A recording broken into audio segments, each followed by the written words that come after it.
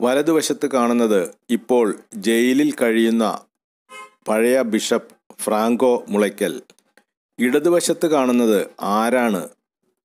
രണ്ട് മൂന്ന് ദിവസങ്ങളായി ഈ കാണുന്ന ആളിന്റെ ഒരു വീഡിയോ പരിചയമുള്ള പല വാട്സാപ്പ് ഗ്രൂപ്പുകളിലും പ്രചരിക്കുന്നുണ്ട്. ഇത് ആരാണ് എന്ന് ആർക്കും അറിയില്ല. ആരാണെന്ന് ചോദിച്ചപ്പോൾ ഏതോ ഒരു കന്യാസ്ത്രീ എന്ന് ചിലർ മറുപടി പറഞ്ഞു. ആരാണെന്ന് വ്യക്തമായി അറിയില്ല എന്നതാണ് സത്യം.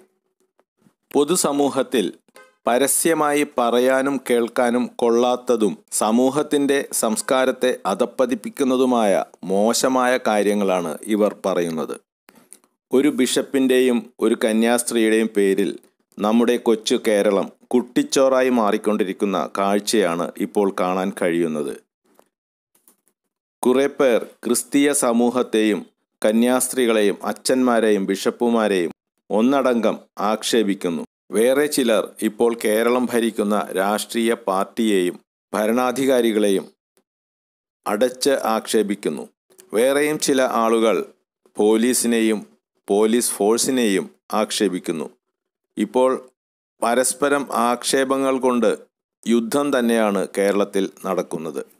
ഇങ്ങനെയുള്ള ഈ ഒരവസ്ഥയിൽ എരുതിയിൽ എണ്ണ ഒഴിക്കുന്നത് പോലെയാണ് ഇത്തരം വീഡിയോകൾ പ്രചരിക്കുന്നത്. ഇതിനെയെല്ലാം നിയന്ത്രിക്കുവാൻ സൈബർ പോലീസും ഭരണാധികാരികളും എന്തുകൊണ്ട് മുന്നോട്ട് വരുന്നില്ല? മുല്ലപ്പെരിയാർ ഡാം ചോരുന്നു പൊട്ടാറായി എന്ന് ഒരു വീഡിയോ വന്നപ്പോൾ അത് പ്രചരിപ്പിച്ച ആളെ എത്ര പെട്ടെന്നാണ് തെരഞ്ഞു പിടിച്ച് നിയന്ത്രിച്ചത്?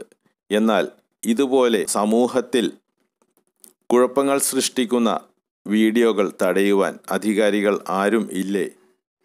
സോഷ്യൽ മീഡിയയിലൂടെ പ്രചരിക്കുന്ന ഇത്തരം വീഡിയോകളെ നിയന്ത്രിക്കുന്നതിനായി സൈബർ പോലീസോ ഭരണാധികാരികളോ എന്തെങ്കിലും നടപടികൾ ഉടനെ എടുക്കുമെന്ന് പ്രതീക്ഷിക്കുന്നു.